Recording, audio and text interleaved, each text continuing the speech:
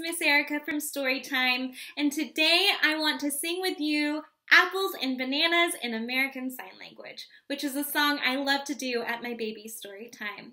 One of the reasons why I love teaching babies American Sign Language is because the muscles in their hands develop faster than their vocal cords do. So it's a great way for babies to start communicating before they're ready to speak. Usually I don't teach them all of the signs, but I have their parents or caregivers guide them with the signs. So they're not going to be perfect.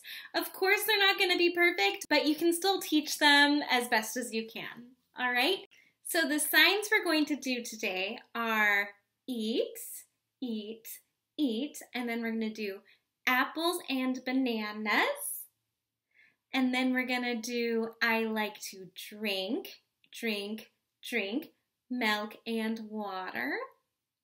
And then we're going to say please and thank you because we're going to ask for more. Okay? Are you ready to sing the song? All right, let's go.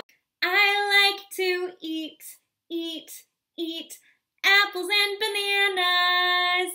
I like to eat, eat, eat apples and bananas. I like to eat, eat, and bananas. I like to eat, eat, eat apples and bananas.